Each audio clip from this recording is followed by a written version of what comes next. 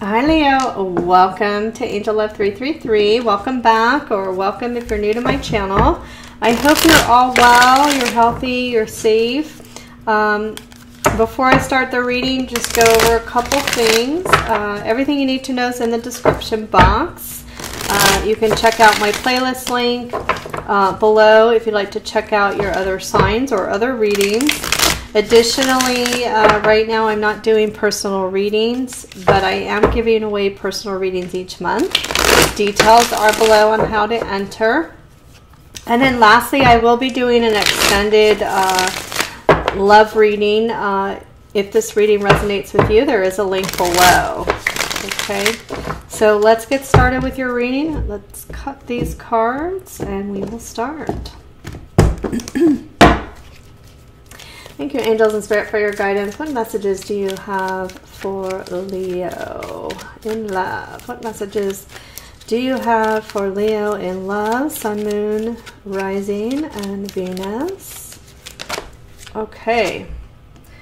We have the Ten of Wands, Three of Swords, Ten of Cups, the Strength card, Ace of Pentacles, the Tower, the Ace of Cups,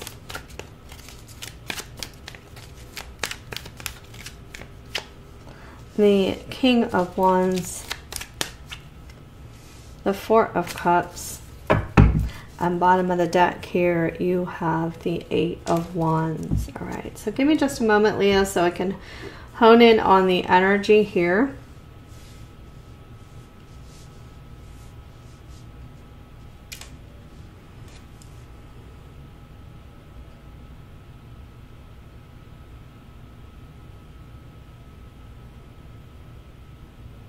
okay so bottom of the deck here you have the Eight of Wands. You got uh, your energy here, Leo. You also have Sagittarius and Aries. There's definitely a love energy that is coming towards you. I feel like for some of you, this definitely could be new love energy because you have the Ace of Cups and you have the Ace of Pentacles here. I get... Um, There's definitely an energy where I feel there may be somebody that recently broke your heart here with the Three of Swords. Somebody I feel um, where there may have been lack of stability or something here where the foundation uh, between you and this person, um, you know, uh, kind of crumbled here, right? Uh, there was lack of stability, lack of trust for some of you. Uh, definitely, I'm getting disappointment with someone here. All right. I feel it's very interesting here because I feel almost like the energy is scattered for some reason. Um, I definitely get in the center of your reading, you have the Ace of Pentacles, which tells me that uh, stability here is a big thing, right? I feel like there could be a new love coming in for you here with this Ace of Coin and the Eight of Wands, right? Some of you may be healing from a past situation is what I'm getting. But uh, let's go through these. So in your recent past, you have the Ten of Wands, you have the Strength card, and you have the Ace of Cups. I do feel like you may have released a relationship, uh, a very hurtful or painful relationship here because you also have the Three of Swords, right? Or you may be healing from a past situation that was very hurtful to you. So I feel there's an energy here of you releasing uh, a burden of the past, okay, with someone. Now, uh, you have the Strength card, Strong Leo energy. You have the Ace of Cups uh, actually your energy there. I feel like you've had to be strong through this situation. And I feel, Leo, that you are open to new love because of the situation. And I feel like uh, you had to release some sort of heavy energy to open yourself up to new love, right? Um, now, I just want to say for some of you, this isn't going to be for all of you. Some of you, this can be, you know, someone that you're still hoping to be with, is what I'm getting. And you may just be uh, releasing the burden, carrying the, excuse me, carrying the burden of the relationship, being strong. Okay, so let's look at this. You have the Three of Swords, the Page of Pentacles, and you have the King of Wands. So again, your energy here with the King of Wands. Yeah, I feel you're, you're going through some sort of healing, um, Leo. And I, I get the sense more so that there is new love coming in for you or you're open to new love. Um, you have the Ten of Pentacles, uh, sorry, the Ten of Cups, the Tower card, and the Four of Cups. So what's interesting about this, this is why I'm saying that I feel like the energy is scattered here and the reason I feel that is I feel there's definitely there was hurt and loss between you and another person, but the same token, I feel like you are open to new love or maybe you're you have started to put yourself out there dating. But I feel with this tower, this four of cups and this ten of cups and this eight of wands, I feel unexpectedly uh, your person that I feel that may have caused this hurt and pain is coming back around. Okay this person that uh, I feel may have, or this person where there's you experienced either broken trust, I'm getting here, or lack of stability in a situation. And I feel with this Four of Cups, you're going to be very hesitant. Uh, it could be dealing with a Cancer, Scorpio, or Pisces. I feel like you're going to be very hesitant when this person comes around. And I feel that you may have other options here as well. Okay. And um, so you may be investigating what they have to say. Okay. What their intentions are. but there is some sort of energy coming through here. And I'm probably going to clarify this Ace of Pentacles just to see uh, if I can determine whether that is new love or that is uh, someone I see possibly returning. But let's get some more messages for you, Leo. Thank you, angels and spirit, for your guidance. What other messages do you have for Leo? Okay. So you have the Knight of Swords. You have the Chariot. You got strong Cancerian energy there. You have Aquarius, Libra, Gemini. And you have the Queen of Pentacles. And bottom of the deck here, you have the Death card. Okay, strong Scorpio energy. All right, so there's definitely a, new beginning I feel happening for you. there's somebody I feel there's somebody coming towards you here with this Knight of Wands and this Chariot. It's definitely a fast moving energy. And with that Eight of Wands, I feel there's definitely communication coming through and it may be just out of the blue when you're not expecting it. And like I said, for some of you, I feel like this is new love, and for some of you, I feel this is somebody uh, that you have been dealing with, right? And it may be that your strength has gotten you through. Uh, you have the Queen of Pentacles here as well. I'm getting here too. Some of you may be very focused on your money, your business. You may be doing very well for yourself. This is a very independent energy.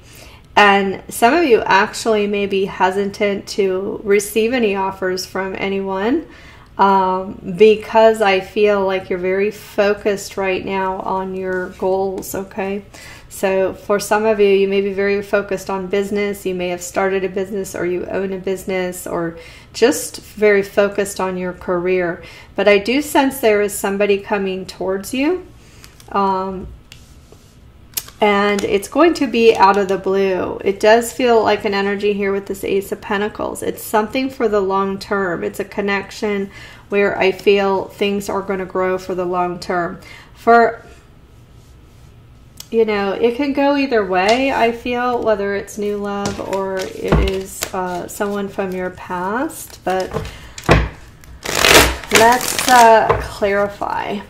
Uh, for a lot of you, I feel it's somebody who disappointed you here with this Ten of Cups, the Tower, and the Four of Cups. Somebody who hurt you in the past. But for those of you who have completely moved on, okay, where, you know, there is definitely uh, there was an ending here. I do sense um, there is somebody new coming in. Thank you, angels and spirit, for your guidance. Why is the Ace of Pentacles here, please? Why is the Ace of Pentacles here, please? Okay, you have the Chariot, Cancerian energy. You have the Nine of Swords.